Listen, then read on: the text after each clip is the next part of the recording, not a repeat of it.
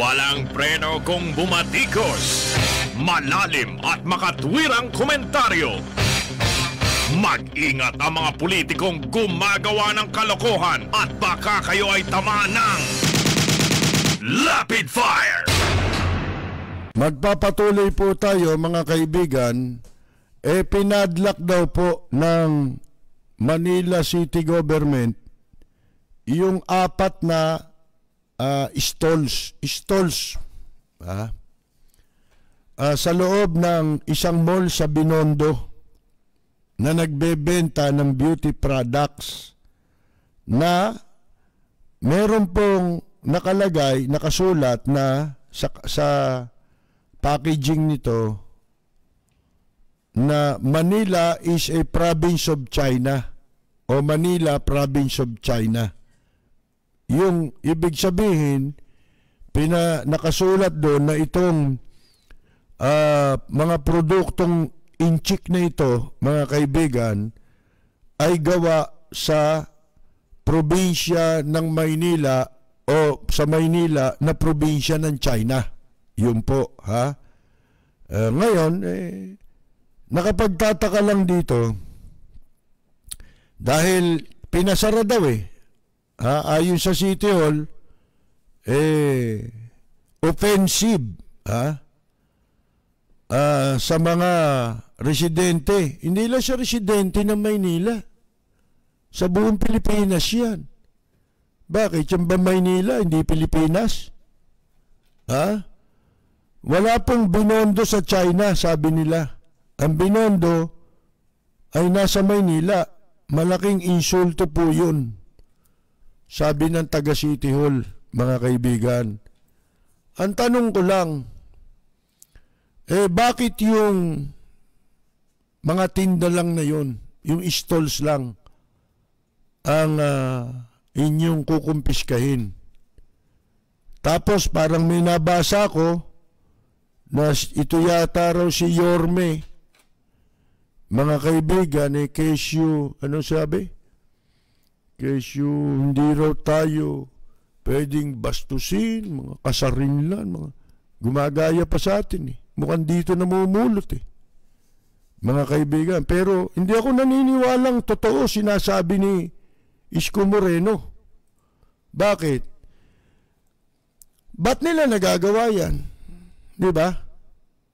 Yung pambababoy na yan. Pag sa laula sa atin ng harap-harapan, tahasan. Ha? Kung hindi sila malayang nakakapasok dito. Ibig sabihin eh, ganun sila ka kakwan katiwala sa kanilang sarili. Ha? Na tayo'y walang kwentang mga tao rito sa Pilipinas. Ha? At itong Pilipinas eh, parang kanila. Di ba? Eh kung totoo sinasabi ninyo dyan sa City Hall eh, bak bakit meron mga pogo dyan? Kung totoo mga sinasabi ni Yorme More Isko Moreno, alam nyo, mag-iingat kayo ha. Yung sinasabi nating Manchurian candidate. Ibig sabihin yun, hindi mo malalaman. Siyempre, ipapaalam ba niya na siya'y kandidato rin ng incheck? Alam naman ninyo. Eh, konektado si Isko Moreno kay Presidente Duterte. Di ba? Oh, mga kaibigan. Kaya, isa yan sa posibilidad na pwedeng maging manok nila kung matutuloy ang eleksyon sa 2022. Pwedeng isa si Mayor Isko Moreno na maging Manchurian candidate. Kaya doon kayo mag-ingat sa Manchurian candidate. 'Di ba? May mga nagtatanong pa nga sa atin, sino raw ba yun? Malalaman ba natin ngayon yun? Hindi pa naman lumulutang yung mga magsisipagtakbuhan na yan sa 2022. Unang-una, takot daw tuma- dumeklara yung iba eh. Tinatakot daw eh. Walang tatakbo ha. Huwag kayo umepal. Yan. Kaya nakita mo yung kay Biko Soto. Nung nagumpisa si Biko Soto, di ba, kinagalitan siya, di ba? Paano marami siyang magagandang uh, ginawa kaagad nung nag-uumpisa ang pandemya. Oh, bakit? Eh kasi baka maging panganib ka sa pagtakbo ng Manchurian candidate. Hindi ho ba? Yun lang ang ibig sabihin nun eh. Walang preno kung bumatikos. Malalim at makatwirang komentaryo. Mag-ingat ang mga politikong gumagawa ng kalokohan at baka kayo ay tamaan ng Lapid Fire! Yung pala nabasa ko kanina, eh, kwan daw, uh, hihilingin niya raw na ma-deport. Uh, wala yan. Hindi ma-deport yan. Eh, yung mga gumawa ng krimen sa Maynila, nasan? Na-incheck. Sige nga, tanong nyo kay Mayor Isko Moreno, yung nandura sa pulis, nasa na yun? May dalang droga yun. Nasaan yung mga may kaso sa Maynila? Ang daming gumawa ng krimen dyan. Mga kaibigan. Oh, yung pogo, mga pogo sa Maynila, ba't di nyo pasara? Legal ba yan? Oh, di naman legal yan eh. Kung talaga totohanan niya, binobola tayo. Mga kaibigan. At saka yung sinasabi nilang produkto na yon, merong address na nakasulat eh. Kung saan eh. Yung opisina. Ha? Nire-repackage yan eh, mga kaibigan eh. Oh. Ah, ano ba address nun? May address yun eh. Sa Binondo, ang address, first floor, 707, Santo Cristo, Ito Cristo pa nga nakalagay dun eh. Puro mga mali ang spelling eh. Wala namang Ito Cristo sa Divisoria eh, sa Binondo. Meron doon Santo Cristo. Oh, San Nicolas, Manila, province, People's Republic of China. Tinan mo, ginulo yung address. Ay, ba't di yun ang pinuntahan nyo? Mapupuntahan nyo naman, meron ba talagang 707 Santo Cristo Street, San Nicolas? Diyan sa Binondo? Meron bang address na ganon? Eh, ba't di nyo pinuntahan nyo para pinusasan nyo? Doon sila, yun ang ginagamit na address eh. Yung ba may permit ng Manila City Hall? Tanong, hindi ba? Inisyuhan ba yan ng mayor's permit? Oh. Kung wala, illegal. Pwedeng hulihin. Oh. Kung meron naman, bakit na-issuehan? Yan ang tanong eh. Bueno, uh, balik tayo. Blacklisting. Ito naman si Rocco, eh, blacklisting daw. Blacklisting saan? Paano na ipapasok dito yan? Kaya, huwag kayo maniniwala, tahimik lang ang Bureau of Customs ngayon kasi ban ng mga major yan. Ha? Pero sa katotohanan, pagka may nahuhuling ganyan, at maraming mga Chinese products na nakikita ninyo, ibinebenta sa Divisoria, sa mga mall, isa lang ang ibig sabihin nun. Ano ibig sabihin nun? tuloy ang smuggling. Oh. Kaya nga may droga pa eh, di ba? Dahil yun daw mga x-ray machine ayon sa mga natanggap nating impormasyon, hindi na ginagamit eh sa Bureau of Customs. Ang mahal nun. Bilyon ang halaga nun. Marami yun. Mga kaibigan, pero hindi nagagamit. Ano ibig sabihin? tuloy ang smuggling, droga at iyan. Ito yung sinasabi nila na huling ito, produkto na ng China yan. Pinasok dito, pinalitan lang yung packaging. At yun ang pinalilitaw na address. Mga kaibigan. Oh. At ang nakalagay pa, Manila Province, People's Republic of China. Isipin mo yan. Oh, sinunod lang naman nila si Presidente Duterte ah. Ano pa pinagsasabi ni Roque? Eh di ba may video si Presidente Duterte, nagsasalita siya sa Chinese community rito, sa pangunguna ng dating nakatalagang ambassador dito, yung mukhang, yung ambassador na mukhang sindikato, di ba? Oh, lagi nakasuot ng incheck. Mga kaibigan, oh, doon sa speech niya na yun. Probinsya raw tayo ng China. Oh. Siya nagsabi nun eh. Tapos sasabihin ni Rocky, ah, eh, wala raw ano yan, wala raw, hindi daw dapat, ah, ano yan, kalukuhan lang daw yan, hindi raw dapat, ah, nonsense daw yan. Anong nonsense? Ha? Nonsense? Binababoy ang Pilipino, nonsense? Oh, palibasa, natapalan lang kayo, na, naka, namantikaan lang ng uso ninyo eh. Nonsense na. Pati pagka Pilipino ng iba, palilitawin ninyong walang kinalaman sa pagmamahal sa bayan yung katarantaduang ginagawa ng China na yan. Walang kinalaman sa mga Pilipino. Wala kang karapatang masaktan. Lalaba, palalabasin mo. Tanga pa mga Pilipino. Oh, mga kaibigan. Eh, wala eh. Pinaglululoko tayo eh. Hinuli, hinuli. Hinuli mo yung tindahan lang. Eh, asan yung pabrika? Doon binabagsak, ibig sabihin. Sa opisinang yan. Di ba? Ang tanong, paano na ipasok dito yung produkto? Dito ba ginagawa yan? Hindi naman eh. Nire-repackage lang yan. Oh, bakit sila mag ano magtatayo ng pabrika yan dito? Galing ng China yan. Nilabas sa customs yan. Ibig sabihin, smuggle dyan. Oh, tapos, lalagyan ng panibagong package. Sipin mo mga mga paglabag sa batas nitong mga to. Pagbaliwala sa batas natin. Paano? Pinapayagan sa Bureau of Customs eh. Di ba? Makakapasok ba rito yan?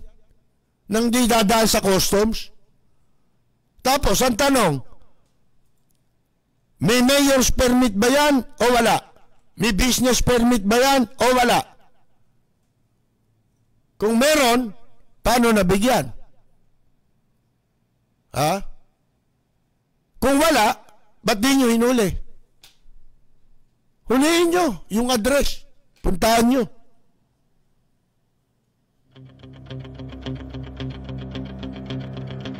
Walang preno kung bumatikos. Malalim at makatwirang komentaryo.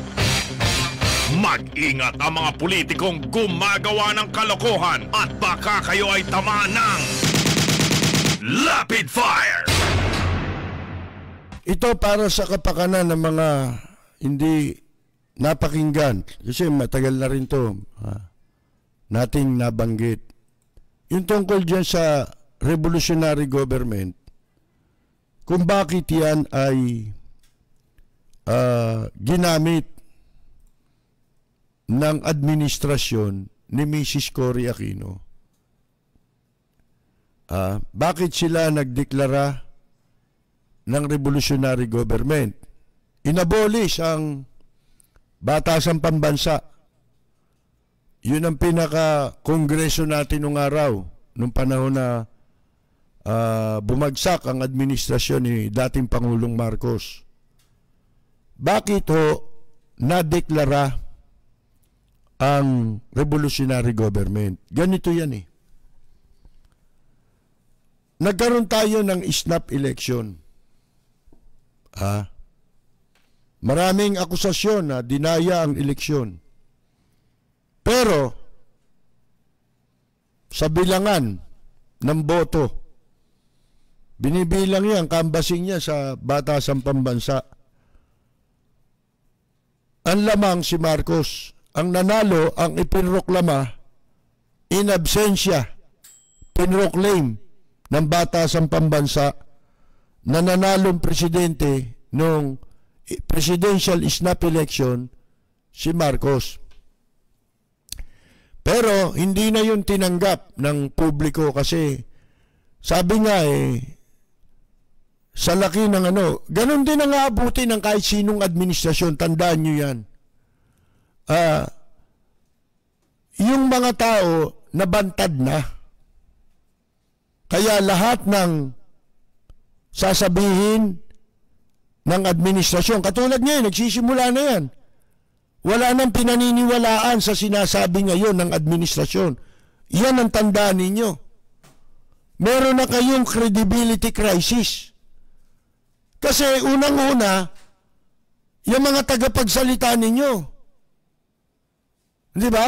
Masama ang imahe na sa publiko. Hindi na kakainin ng publiko yan. Tandaan nyo. Kung tinatanggapan ng publiko yan, di. Mga kaibigan, oh. Ha? Baliwala yung mga yung mga may sakit si presidente, di ba? Yung mga chismis, sinasabi nyo. Oh, baliwala sana yan. Wala sanang mananawagan na ilabas ang tunay na estado ng kalusugan ng presidente.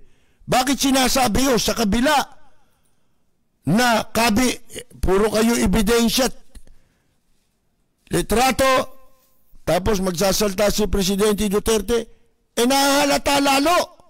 Di ba? Kaya wala na. Ang credibility ng gobyerno, totally wala na yan. Naglolokohan lang tayo. Ito mga unggoy sa social media, unggoy lang yan. Banana Republic, ang tawag sa ganyan, ungguyan.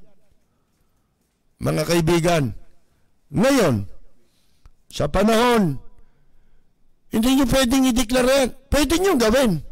Pwede nyo ipilit. Pero, hindi pwede yun sa batas. Unang-una, wala kayong dahilan eh. Sa panahon ni Mrs. Cory Aquino,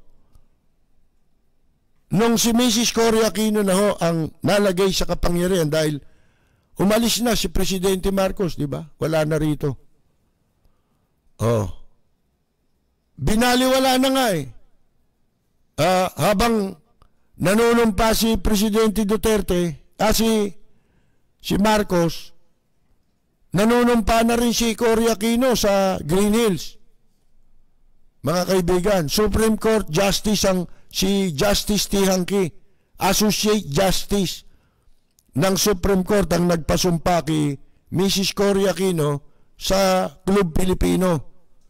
Bakit nila pagka pagkaalis ni Presidente Marcos nagdeklara ng revolutionary government si Mrs. Cory Aquino?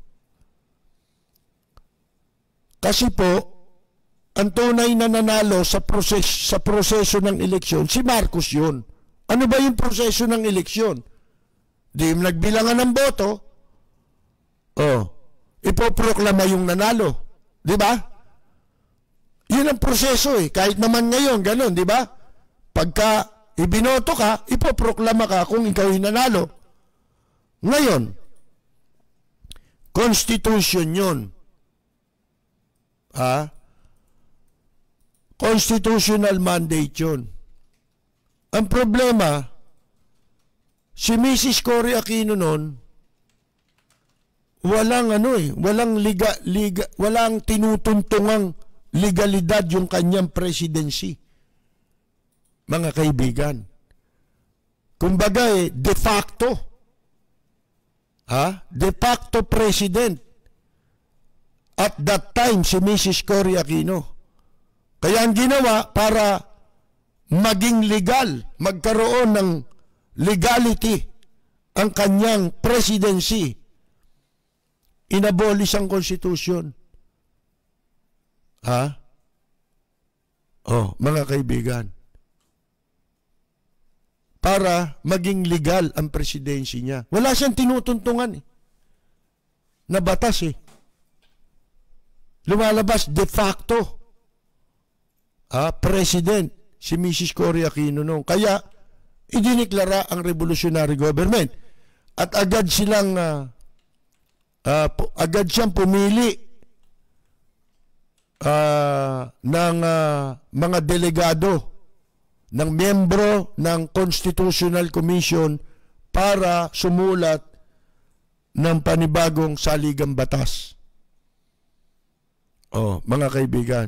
Pero, in between, bago maratify ang saligang batas, mga kaibigan, hindi inabuso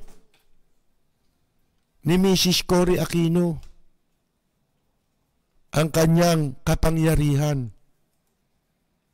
Ha? Eh kung tutusin mo nga, malambot si Cory. Di ba? Ang problema, ah, si Mrs. Cory Aquino na paligiran ng mga walang ya, ng mga oportunista, kamukha ngayon. Ganon din ang nangyari ngayon eh. Sa administrasyon ni Presidente Duterte. Kaya ako, simula pa lang eh, ilang buwan pa lang, nawala na ako ng gana eh. Alam ko na eh. Napanood ko na eh, kumbaga sa pelikula eh. Oh. Hindi nagabuso si Mrs. Cory Aquino na gamit yung revolutionary government. Paano mong pagtitiwalaan ang isang administrasyon na baguhin ang saligang batas, eh alam mong mag-aabuso sila. Lalo na yung mga kasama niyan. Sapagkat, nung hindi pa nga nakadisenyo para sa kanila lamang na interes, eh, di ba, kaya nila pinaplano yan para idisenyo sa interes na nila at ng mga kaalyado nilang politiko yung saligang batas. Kumbaga, tatahiin nila parang damit na kasya sa kanila. Na magkakasya lang sa kanila. Hindi para sa bansa at sa mamamayan yung konstitusyon na binabalak nila. Sapagkat ang motibo ron ay igiit ang kanilang sarili sa poder ng kapangyarihan mga kaibigan. Yun lang isang maganda lang na nangyari ha. Isa sa magandang nangyari sa administrasyon ni Mrs. Cory Aquino. Hindi niya inabuso yun. Uh, may nagabuso, di ba? Yung si... Bagay, ano na to eh. May konstitusyon na nun ha. Nagabuso pa rin. Yung si Alquas. Yung Linggoy Alquas na dati commissioner ng National Telecommunication. Kalain ninyo, isinara yung himpila na DCME. Mga kaibigan, tinanggal siya. Inimbestigahan siya ng Senado. Ayan, sila Enrile, mga nag-imbestiga. Sina Butsakino. Oh, kahit na ganun si Butsakino noon. Uh, kasali siya sa mga uh, ano, laban sa ginawa ni Alcuas na pag-abuso ha, sa pagpapasara ng himpilan ng radyo. Nandun kami nun eh. Kami nila kauding eh. Oh, eh ako, madaling araw ang programa ko eh. 5.30 to 6 eh. Oh, mga kaibigan. Ngayon eh, hindi, ito walang dahilan eh. Anong dahilan mo? Di ba na, Nanumpa ka pa nga dyan sa konstitusyon na yan eh. Oh. Paano ninyong i-justify ang ang matakot pa kayo ito pa kung talaga lang naman ha ito yung mga possibility pagka ang nangyari dito halimbawa kung talagang bagay sa lunis pa natin kasi malalaman kung totoong uh, uh, nasa uh, uh, ano pa uh, uh, physically fit si Presidente Duterte mentally, physically na makapamuno ng bansa. Kasi wala na eh. Hindi natin napagkikita ibang nagsasalita Temo, yung sinasabi lang ni Roque, buhol-buhol eh. Perpetual isolation, sabi naman ng isa, hindi oh, ito oh. oh sipin mo yan. Sila-sila ang sumisira sa sinasabi nila. Kaya masisisi mo ba ang publiko na mangamba, mabahala? Sapagkat alam naman nating hindi makabubuti sa bansa. Di ba? O, halimbawa, meron talagang mangyayaring ganyan. Kasi ang isa sa pinipigilan nila raw, usap-usapan, eh wag makaupo si, si Vice President Leni Robredo. Hindi pwede yun. Labag sa Constitution yun. At yun ay siguradong hindi rin tatanggapin kung lalabagin ninyo yun. Hindi rin yan tatanggapin ng international community. Ha? Oh, mga kaibigan. Hindi rin matatanggap yan. At kapag kaya na ilabag, hindi sila pwedeng hindi gagawa ng hakbang. Ha? Sapagkat yan ay commitment eh. Iyang pagkakaroon ng demokrasya ha? sa ating bansa. Hindi lang sila nananagot sa ating mga Pilipino. Kung gigibain nila, babaliwalain nila at dadapurakin nila ang ating saligang batas. Kundi, pwede rin tayong pakialaman. Sapagkat may commitment tayo. Ang bansa natin ay isa sa mga bansang magtataguyod ng pamahalaan, isang uri ng gobyernong makademokrasya. Mga kaibigan, hindi lang yan basta natin ginawa. Ha? Hindi lang yan basta ginawa yung konstitusyon na yan. Na tayo lang mga Pilipino, pero kailangan ipakita nating mga Pilipino na tayo ay hindi sang-ayon sa pambabastos, paglapastangan sa ating saligang batas.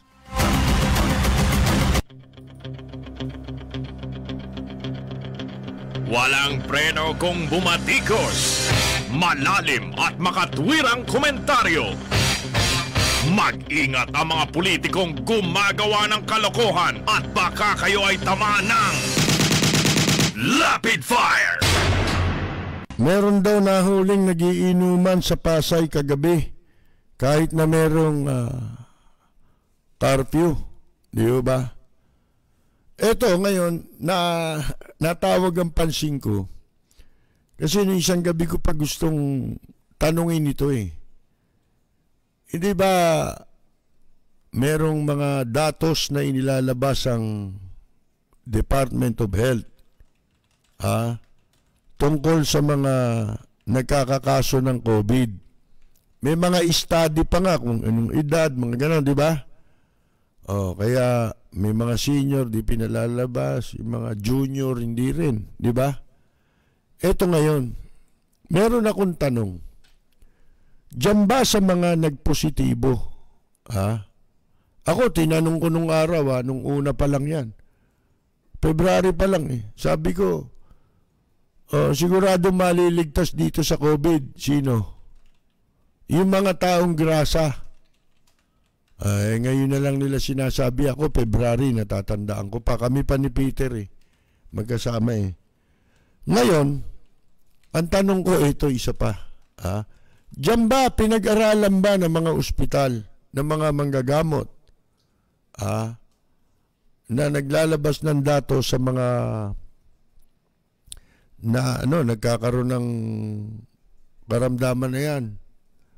Naberipika ba nila kung merong uh, mga la, yung mga manginginom, ha? Yung mga lasenggo, ha? Na nahawahan ng COVID. Eh, bakit mo tatanong yan? Di ba? Eh, kasi puro alcohol na katawan nun eh. Di ba? At saka alam niyo ba yung mga manginginom? Eh, siyempre, sa tundo, di ba? Sipin ninyo eh. Mula umaga dyan, ginuman dyan eh. Oh, araw-araw yun ha, 24-7 yan. Mga kaibigan, bihira pumalya yung mga nagiinuman. Oh, Pero bibihira ko silang makitang nagkasakit eh. Wala nagkakasakit. Paano may alcohol na sa katawan eh? Di ba? Eh tayo, ini-spray lang natin eh. Sila, eh, yung alcohol, iniinom nila eh. Walang preno kung bumatikos. Malalim at makatwirang komentaryo. Mag-ingat ang mga politikong gumagawa ng kalokohan at baka kayo ay tamaan ng Lapid Fire! Ito, sa Amerika rin daw, yung mga homeless, wala. Eh, paano kasi yung mga yan? May ano na yan eh, may immune na yan eh, di ba? May immunity na yan sa lahat ng klase mikrobyo eh. Hindi na makaka-penetrate ang mikrobyo sa dumi niyan eh. Di ba? Yung mga taong grasa, naglalangis eh. Dudulas ang ano ron, ang virus. Di ba? Oh, hindi totoo yan ha. Kung matatawa kayo, isipin niyo mabuti. Hindi ba yan eh? Ano yan? Ah, karunungan din ng Diyos yan. Di ba? Isipin mo, yung mga tao yan, walang-wala yan eh. Oh, yun ang binigay sa kanila ng Diyos, yung maano sila, maligtas sila sa karamdaman. Di ba? Hindi sila basta-basta dapuan ng, madaling dapuan ng karamdaman. Pati karamdaman, lalayo sa kanila. ha? Mga kaibigan. Ganun yun eh. Oh. Hanggang ah, hindi nasasara yung mga transport prostitution na yan. Hindi namin titigilan yan eh. Ako, wala sa akin, maski front page ako. Ganap ako, likas sa loob ko, buong puso ay pagkakaloob ng sarili ko, sampung kasamahan ko sa ermita. Itataguyod namin ang sarili namin pagkain. Dahil hindi kami kayang pakainin kahit sinong tao. Against all odds, General Alfredo Lim, chief of the Western Police District, pursues an unrelenting campaign to wipe out a permanent fixture in Manila, the Red Light District. Sa. How did you start out in your police career? Oh, I was appointed uh, as a patrolman in the city of Manila. We started as a, we call it the men on beat, uh, walking the streets of uh, Manila. Why were you interested in becoming a, a policeman? Well, when I was uh, in high school, I was uh, fascinated with the exploits of uh, policemen and detectives uh, hunting uh, uh, criminal elements, no. And I was reading all these uh, police stories. The police chief himself has figured in many police stories, numbering enough to make a book. His long stint as a police detective exposed him to all types of crime, all sorts of criminals, and many untold dangers. Ah, marami. Yeah, sa pagtupad ng tungkulin, talagang kasama yan. Dahil alam mo, dito sa aming profesyon, you cannot satisfy uh, everybody. Pag nagkaroon ng isang krimen, ay siyempre tatrabahuhin ng mga polisyan. At pag nahuli yung uh, suspect, yung suspect, yung pamilya niya, yung mga kaibigan niya, galit na sa amin. But the reputation of the policeman is not so good. Maraming lagayan, bayaran. Ako personally, no. Pero alam mo, yung mga yan, bintang na yan, ay totoo rin eh. Ano, dahil ah, aaminin ko na sa iyo na meron din kaming mga kasamahan na tumatalikod sa sinumpaan nilang tungkulin. You're known as a fearless cop. You think that's accurate? Hindi naman. Siyempre kami natatakot din. Eh. Pare-pareho lang tayong tao eh. Eh, dangan nga lamang. Yan ang aming pinasok na trabaho. I've been in the service for uh, 37 years already. And uh, I can look uh, everybody in the eye and also my family that uh, have never been uh, accused of uh, extortion or whatever.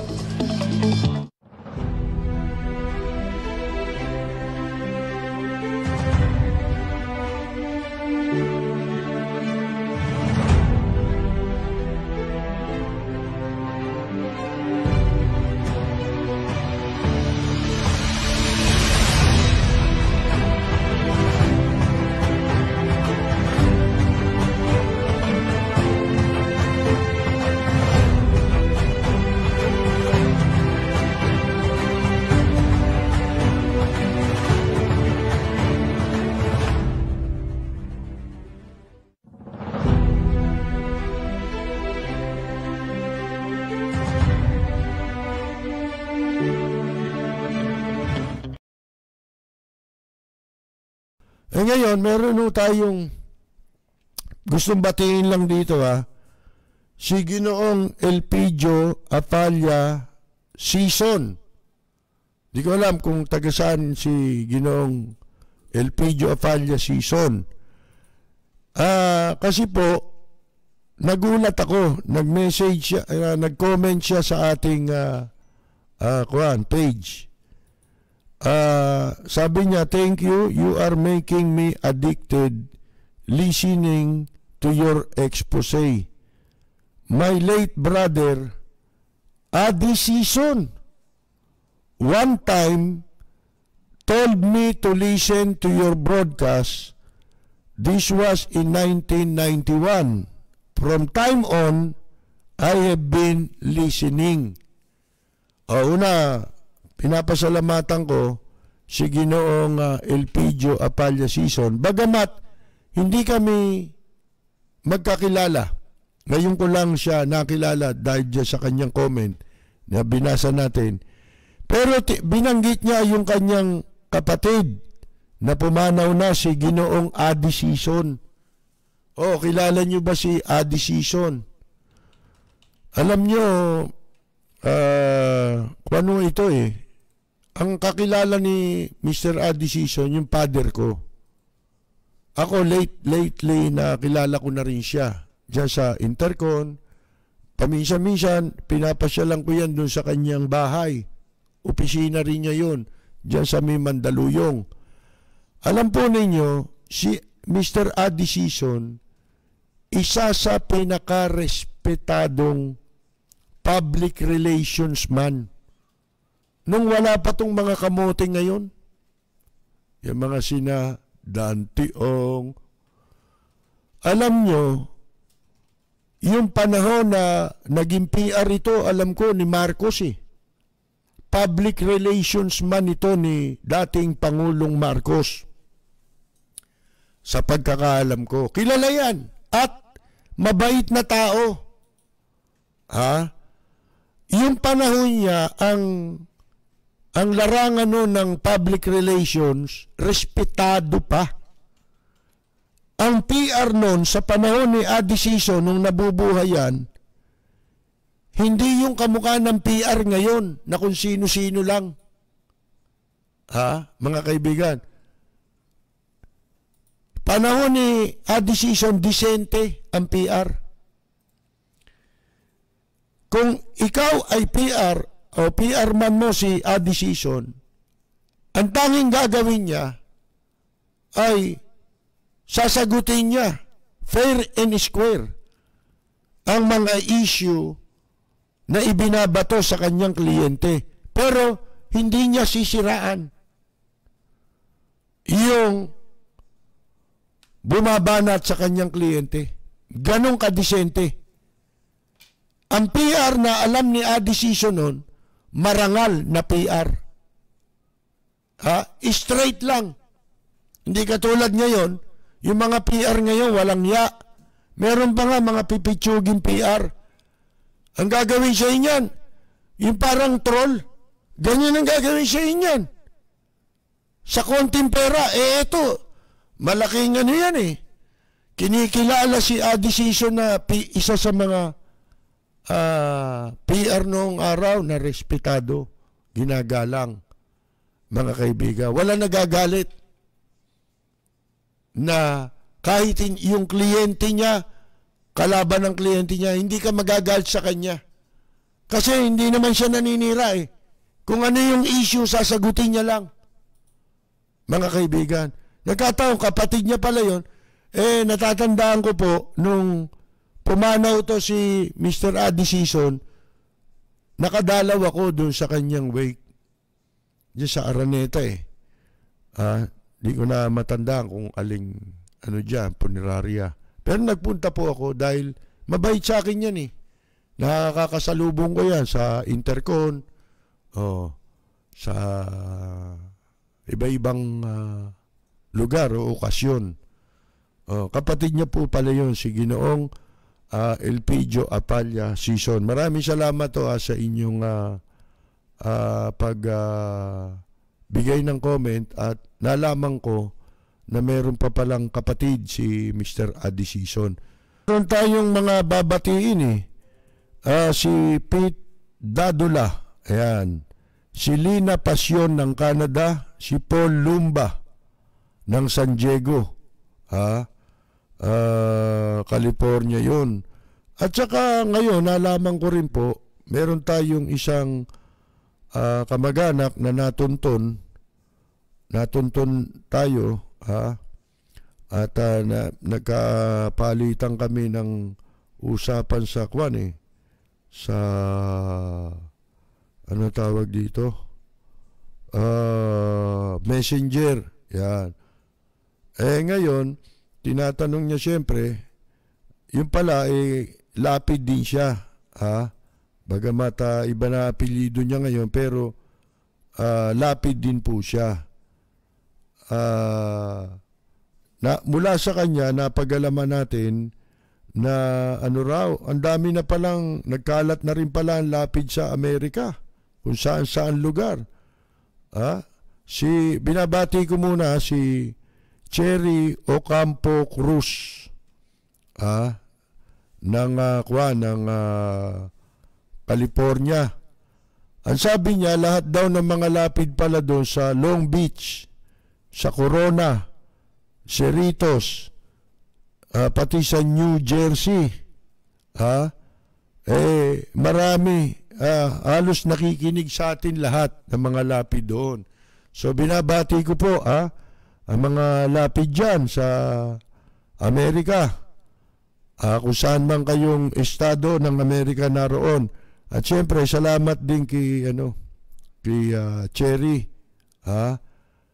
Ah, na ating pong ah, natuntun, ha? Na kamag-anak natin at ah, siya nag ah, sabi sa atin na tungkol nga doon sa nakausap niya rin yung eh siya hindi niya alam eh. Nagka, nagkaalaman na lang nung nagkausap na kami. Eh siguro tinawagan niya yung mga ibang lapid doon at sabi sa kanya eh nakikinig sila sa atin. Siya ang hindi nakikinig ha nung una. Nakilala niya ako sa pamamagitan ni Hector Fonasier yung taga New York ha na umuwi dito naging kaibigan natin at kaibigan din niya nila kababata rin niya nila Arthur ha? Manuntag yung kaibigan din nating pumanaw na na singer. O bueno tayo po'y magbabasa-basa ng mga reaksyon kung meron po. At uh, uh, kuwan, babati tayo sa mga nakikinig sa atin. Nabati ko po si uh, Mirna Guillermo ng uh, Chicago, si Roxanne Rankin ng Florida. Uh, ang ating mga katropa, sina Arlene at Mon Barrias ng uh, Amsterdam, sa Tokyo, Japan, si Jorge Beichong, at sa Italy, si Buenos Dias, Joel Diaz, at si Carolina Luge. At marami tayong tagapakinig sa Italy Pasensya na kayo, hindi ko lang matandaan talaga lahat ang pangalan. Sina Ella Samson Albiar, Rosita DC, Susana de los Santos, Carmela Torres Balcos, Carol Torres Brihiño, Jundi Valencia, isang singer-actor, si Kaani Flormata Saludes, Kaenyang Mina, sa Guam, nandun naman si June Gases, ang original vocalist ng dati pong bandang Abracadabra, si Walden Kihan Berry. Ah, nasa Guam din po at ang kanyang pamilya, binabati natin. Oh, meron pa lang birthday, ha? Ah, birthday pala ni ng asawa ni Mirna Jimenez. Si Mirna Jimenez. Oh, si Mirna ba ang may birthday? O oh, birthday pala ni Mirna Jimenez. Ah, at uh, siya po pinababati ng kanyang husband na si Ginoong Carlos Jimenez. O oh, yan, birthday din ni Miho Santos ng Cavite. O si Simrish Arumin. Ah, pinabati natin, birthday din niya. Apo siya ni Ginoong Leonardo Arumin. Oh, birthday din po ni Luke Gabriel Valeros. Ha? Ayun, o Miho ng Cavite, doble na. Ha? Birthday ni Mirna Jimenez, Miho Santos, Simris ah, Arumin, at Luke Gabriel ah, Valeros. At dahil birthday nila, narito po ang at ang ah, dali ah, ang ating pagbati. Para sa nagdiriwang ng kanilang karawan Happy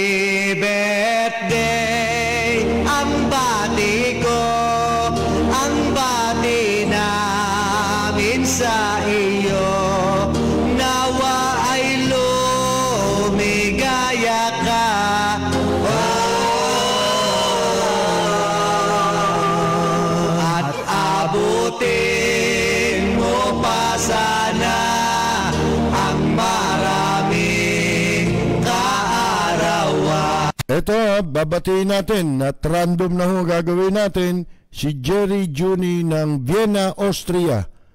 Ah, si Maria Dolores Santos, ah, De Gia G, ah, D. Dan, ah, si David Alwin Mendoza, Greg Velus Jr., Hubert Ivan Pang, Gloria Latore, Martiniano Santiago, Nixon ng Torres, Val Luga, Hani Liwanag, Wilfredo Constantino, ah, Junior Dal ng California, Miko Buhain from Texas, si Beck Sabignano, ah, Sheria Charlie de Guzman, ah, Gloria, nabati na natin, ah, Gerard Bugarin, Armando Eluna, ma Fe Almoite ba si Fe isang um, uh, veteran singer po ito.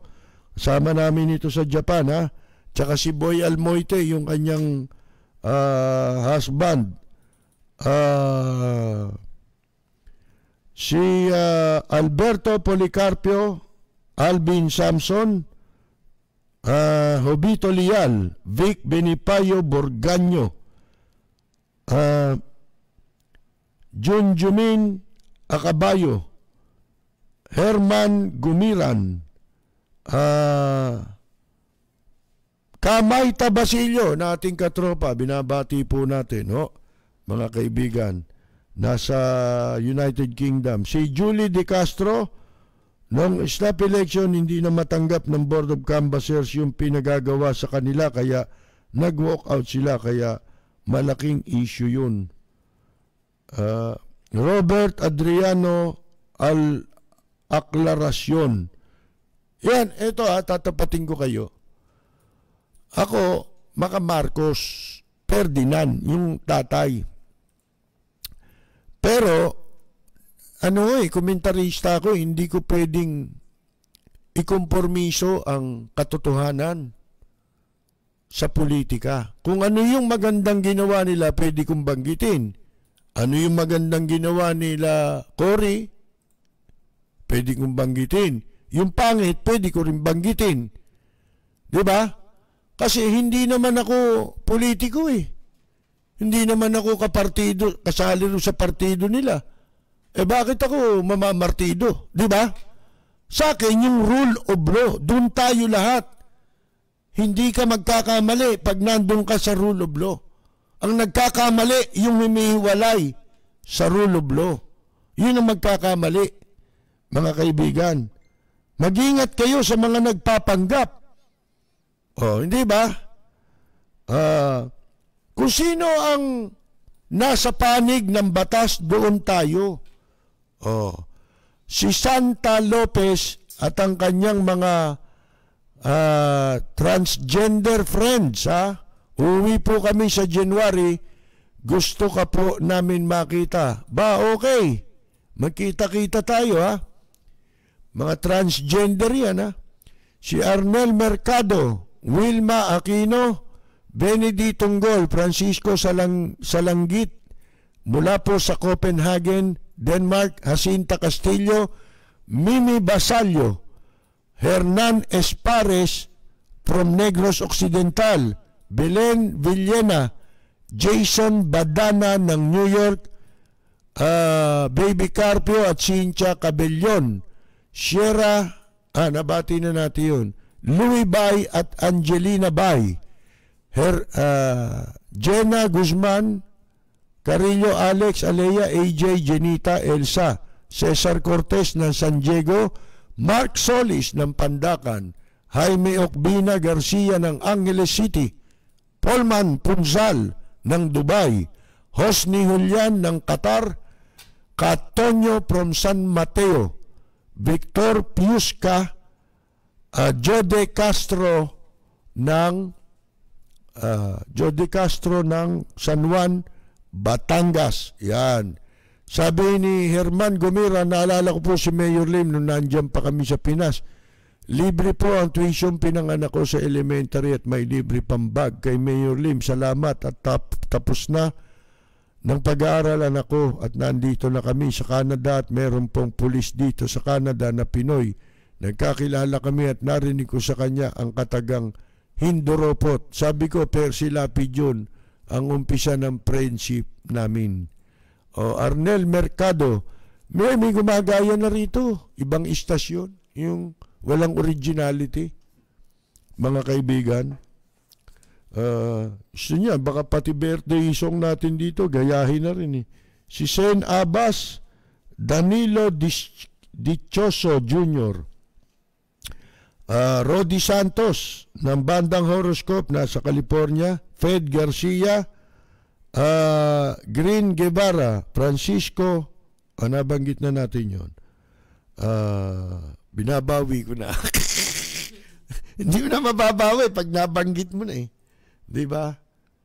Uh, Armando, uh, nabanggit na rin natin yun. Marisa Ferol, Feroline o Feroline, Zitaco Ador Russell ng Pampanga, Bon Bonales, isa hong uh, veteran musician, Ed Yumol Casquejo, Noel Perez, Nick Mozo from Toronto, uh,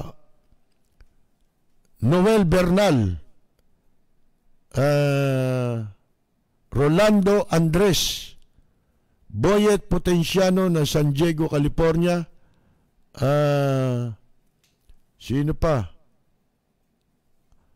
Oh, si Santa Lopez, oh. Nabati na natin, di ba, yung mga transgender sa Huntington Beach, California at ang kanyang mga kaibigan, no?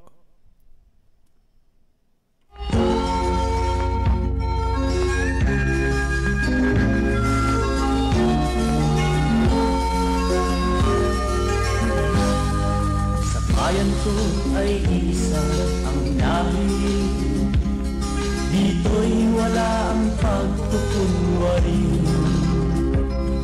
Hindi hindi padagay Sadyang kilala sa daigdig May pagkakaisa sa bawat nais Ang bayan ko'y Mga kaibigan, wala naman tayong oras. Birthday pala ni Johnny Valerio.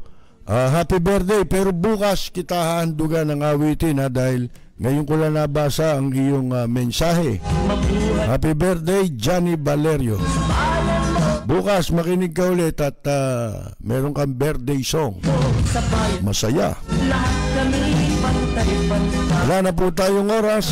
Babalik po tayo alas 10 ng gabi hanggang alas 12 ang ating live streaming. Tayo po'y mapapakinggan alas 10 hanggang alas 11 ng gabi sa impilang DWBL 1242 sa inyong mga talapitan. Ito po si Percy Lapid.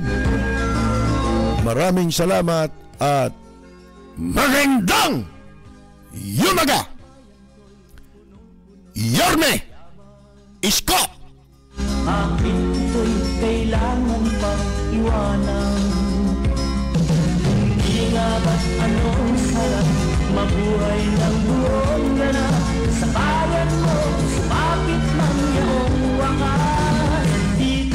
kabayan ko Lahat kami pantay-pantay. Walang nang aapit Ang pag-ibig ay tulay. Dito sa bayan ko Dito'y makikilala mo. Ang mga kaibigang Nagmamahal sa'yo.